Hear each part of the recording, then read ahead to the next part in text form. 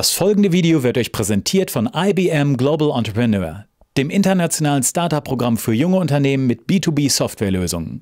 Bewerbt euch jetzt und macht mit Big Blue den Planeten smarter. Welcome to Venture TV. Welcome, Chris Barton. Chris, you are the founder, one of the four co-founders of Shazam. Yep. I think everyone out there knows Shazam. Um, it's an it's a, um, an app to to um, find out which music you are listening to, uh, and Yep. now you can basically find out everything, like the TV program that's going on, and you can check that. Um, you founded that quite early. When when was the founding date? It was 2000. In 2000, we started the company. It was a time when there were no smartphones out there. Most people know Shazam from their smartphones. Yeah. You did a very traditional mobile phone approach with the Nokia phones, and the company changed a lot. It grew. It, it um, yeah. Now the, the Shazam of today is really different than the Shazam of 2000. Yeah. Um, and in 2000, you had that idea, and nobody really believed that it would become true and, and uh, reality. Um, but you still pursued your dream. And the founders out there, there are many people who, who have a dream and they get told, no, that can't work. What's Yeah. your, what's your um, attitude to like what, what should people out there do when they have a dream? Um, How can they still pursue it even though everyone says you can't? Yeah, I think. I mean, I think the important thing is to try to find ways. So some of the best entrepreneurs today find ways to test, to, to conduct tests of whether their, their idea is a good idea. And I think that's one of the that's one of the foundations of innovation for entrepreneurs today. Is you have an idea, and is there demand for it or not? And and obviously, until you build the whole thing, then it seems like it would be hard to know until the product is out there. But there are ways to do these sort of tests, things like buying an a- advertisements and seeing if people respond, like Google AdWords, um, things like surveys, things like there's a variety of other things, variety of things you can do to sort of simulate is there demand for your product.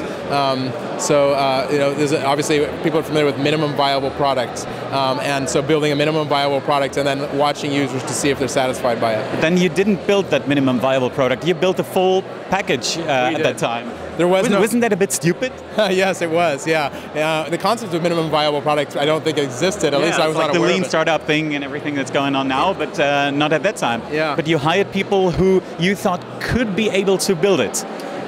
Yeah, They did. And they did. Yeah. I mean, I think in our case it would have been challenging to build a minimum viable product at that time because to identify music you want to identify almost anything, and so you can't just have 10 songs and say, "What do you think of this product?" Because you'd wait and see if people tag those 10 songs. So what we did do at that time is we conducted surveys. We went out and asked people, thousands of people, would you use this product? How often would you use it? You know, would you pay 50 pence to use it, which was the charge or cost at the time that we launched. Um, so we did what we could to test out our hypotheses. And then um, you, you approached the VCs. What did they say? Were they all happy and say, yeah, well, here are my millions? Or not? No, it was a little bit more difficult than that. Uh, most VCs said, uh, you know, the times are tough right now because this is 2000, 2001 when we raised our venture round, um, and we're either we're not investing or if we are investing, we're not investing in anything consumer focused because they're very risky and require a lot of capital to, you know, spend money on marketing and so on. Um, and uh, and uh, they just also at the time there was really no mobile market, uh, and so they didn't have an interest in mobile specifically. No one really thought of mobile as this market where you can do all these advanced services at the time. So it was very challenging. We pitched over 110 venture capital firms Wow. uh, before we found finally one that said yes, I would invest. And the guy we found happened to be a music lover, the kind of person who has a humongous music collection and can name every song on, on the planet. And uh, maybe he's a competitive threat to Shazam. Uh, but uh, and so he said, "Wow, this is like a dream come true." Yeah, I think this has great potential. So I'm putting my money where my mouth is. All right. Um, meanwhile, none of the four co-founders is um, working for Shazam. Well, you're on the board, all of you, um, but all of you left. Why? We all we all moved on. Shazam went. Shazam kind of struggled for quite a few years. It took off really only when the iPhone App Store started in 2008. And so during those struggling struggling years, we did two things. One was the this is the thing to do back at that time was that you hired in as a young co-founder, you hired in the kind of gray-haired management to professional management to run the show. And so we had agreed to do that right up front when we raised our venture capital money. So we did that, and we had professional managers running the co- company. We I hired in the CEO that replaced me. Um, and then um, and then and then the, and the, again the company sort of struggled, and so we went on and kind of placed other bets with our careers.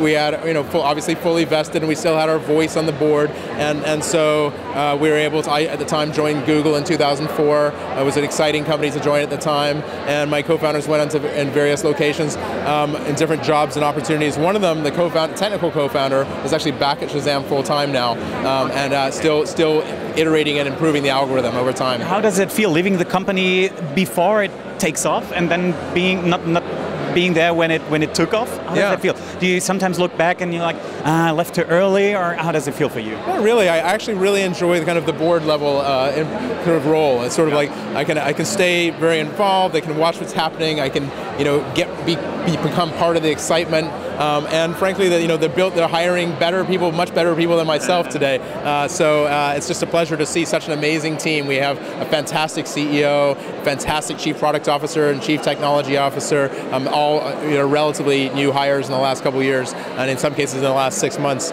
Um, and so it's just uh, it's just so, so much fun to kind of watch the progress with them. So even when you love your product, there is sometimes a time to leave for you as a founder. When is the right point to to hand the job over to experienced CEOs? When when is the right point? When is the right time? I mean, I think picking that right time is, is, is different for every company, right? It all depends on the circumstances, it depends on the, the type of company it is and the challenges that company faces and so on. I mean, if you look at like even companies like Google, now Sergey has moved on into the kind of innovation group where he runs Google X. Um, but there was a time, a long time when Sergey kind of co-ran the company with Eric Schmidt and Larry Page. So, um, so that was a very late time to do it. Um, so th- there is no single right time. I think it's just whatever the natural point is for that company. Cool. Well, thanks a lot, and uh, good luck for your future projects. And uh, thanks for the interview. Yeah, thank you.